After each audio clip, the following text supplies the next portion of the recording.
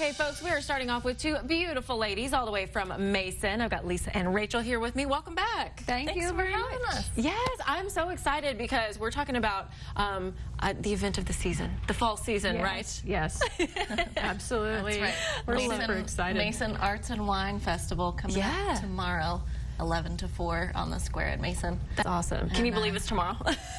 No, And I can't believe it's been our 10th year. yeah, Yes.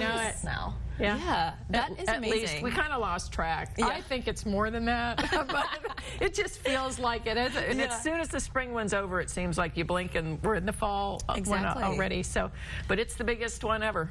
that is amazing. So Really yeah, one of the best weekends to come experience Mason and all Yeah, that has to it offer. is. So- that is awesome. Yeah, so walk us through the day. What, what can people expect? Well, everybody gets set up by 11 o'clock, and we have 50 arts and uh, artists and uh, crafts people that are coming. Yeah. We also have 11 wineries um, that are are participating. Some have uh, property on the square, so you can go into their wineries. Um, some don't, so they're out on the sidewalks. And we have one brewery, Oh. THC Brewing Company. So we are super excited about that because there's always somebody in the crowd that doesn't want wine, you know, right? And Exactly. Now we have wonderful beers, handcrafted right there in Mason. So yeah, super That is cool. that is fantastic. Okay. Super. So we've got painters and Oh, yeah. ceramists and photographers and jewelry Mm-hmm. makers and and uh, fiber artisans. We even have some people making leather goods this Wow. time and woodworkers. So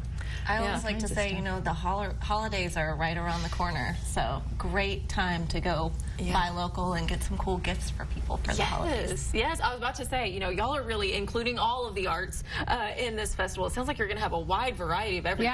yeah, yeah, we do. And following our event Yeah. uh, from six to nine is Halloween Fest Oh, yeah. Sandstone Cellars Winery. They've been doing that for I have lost track of how many years it's been going Yeah, on, many but years. it's been a long time. It's many more than ten. And there are Halloween activities all around town, costume contests. Yeah. Yeah. Um, Fly Gap Winery is going to have the Halloween hoedown with some live music Oh. too. So, Yeah. So much going on in Oh, and the Mason this weekend. I was What's about to the say the beautiful theater there. The Odeon, the oh, The Exorcist I think it's is The playing. Exorcist. Yeah, yeah. spooky movies too. and for the children. And for the children, we have yeah. trick or treat on the square too. How fun! Oh, no, Uh, so of course like everybody's five got to to dress up.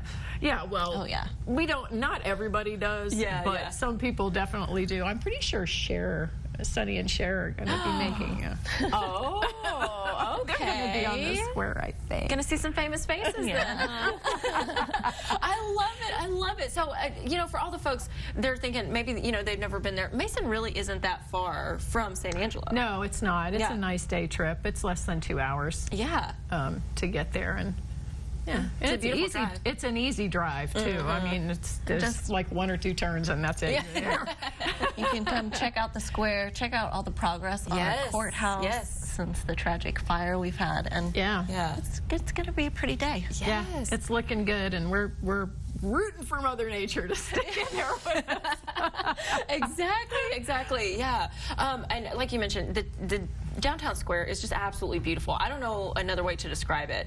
It's just gorgeous. It's Yeah, just like one is. of those like old western Yeah. towns that you picture. that's a good one. You know, It's very quaint too. You know, we have we don't have any real big hotels or anything there, Right. but we have bed and breakfasts, mm-hmm. and a lot of them are right there on the square, Yeah. or within walking distance of the square. So it's really kind of neat, Yeah. you know, to be able to get out and walk around, and then just be right back there in your room.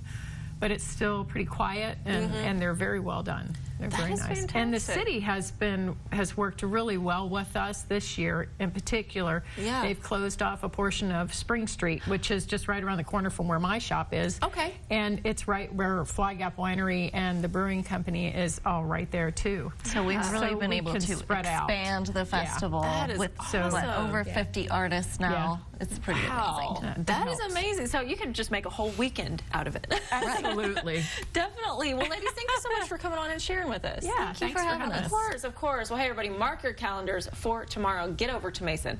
Hey, we do have to take a quick break, but we'll be right back after this.